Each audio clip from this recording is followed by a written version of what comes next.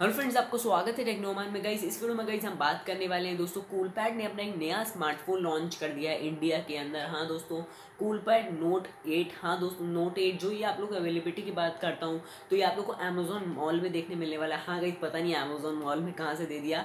Flipkart Amazon नहीं इसमें Paytm mall में इसमें आप लोग दिया गया है। तो लेना है आप जाके, वहीं से इसको परचेज कर सकते हैं। भाई प्राइस की बात करूँ तो ये जो है प्राइस दस हज़ार रुपये का प्राइस है। बट ये आप लोगों को पेटीएम जैसे पता है पेटीएम जो कैशबैक चलता रहता है पंगा तो आपको भी दस हज़ार देना पड़ेगा। दो हज़ार रुपये जो आपको कैशबैक मिल जाएगा, रहेगा। तो ये कुछ अन्य ऑफ़र रखा है इस फ़ोन के साथ। तो मतलब ये फ़ोन जो है वो आपको पड़ेगा आठ हज़ार रुपये का। हाँ गई ये आपको फ़ोन पड़ने वाला है आठ हज़ार रुपये का। तो गई सबसे पहले बात करते हैं इसके स्पेसिफिकेशन के बारे में। तो गई सबसे पहले मैं बात करता हूँ इसके डिस्प्ले के बारे में।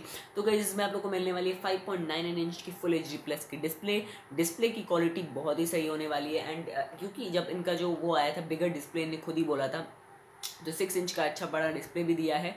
तो आई थिंक डिस्प्ले बहुत ही सही दिया गया है एंड क्वालिटी बहुत ही सही रहेगी। वन ज़ीरो एट ज़ीरो से जाएगा एंड टू वन ज़ीरो तक जाएगा। तो आई थिंक डिस्प्ले क्वालिटी सही रहेगी। चलिए अब बात करते हैं परफॉर्मेंस के बारे में क्योंकि बहुत सारे लोगों को परफॉर्मेंस भाई बहुत ही सही चाहिए।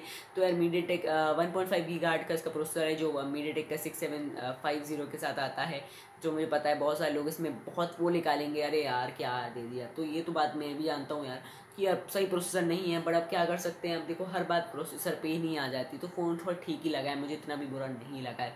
गई बात करता हूँ रैम वेरियंट की तो चार जी बी की रैम मिलती है सिक्सटी फोर जी बी आपको इंटरनेट स्टोर मिलता है, आठ हज़ार रुपये के अंदर। सही बात है।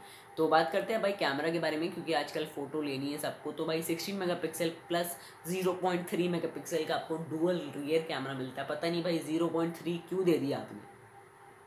क्यों दे दिया? अब मुझे ये नहीं पता बट अब मुझे मेन बात आती है कि यार अभी वो देखना है हमें कि क्वालिटी कैसी है, क्योंकि बुके मोड जो है कैसे हैं।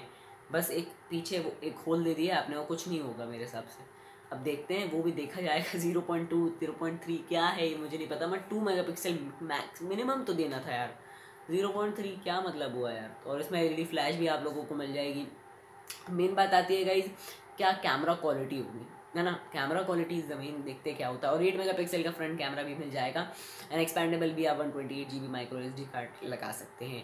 एंड गाइस बात करते हैं इसकी बैटरी के बारे में। तो इसमें हम लोग चार हज़ार एम एच की बैटरी देखने मिलने वाली है। तो आई थिंक बड़ी बात है सही बात है, क्योंकि इनके इन्हें खुद लिखा था बिगर बिगर डिस्प्ले बिगर बैटरी तो आई थिंक ठीक है, चार हज़ार एम एच मेरे हिसाब से आपकी दो दिन चल जाएगी, क्योंकि इतनी बड़ा डिस्प्ले नहीं है।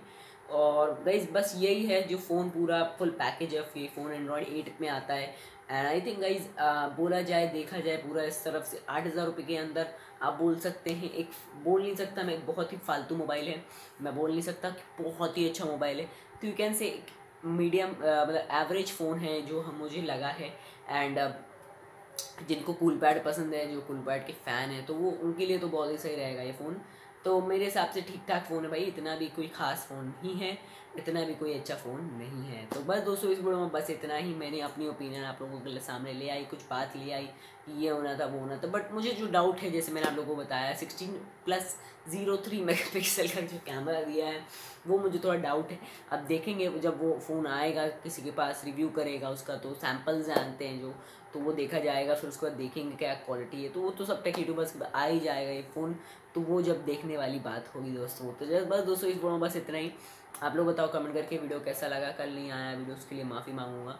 तो जल्दी से वीडियो को लाइक कर दो चैनल को कर लो सब्सक्राइब क्योंकि हम आपके लिए ऐसे डेली वीडियोज़ जो हैं वो लाते रहते हैं।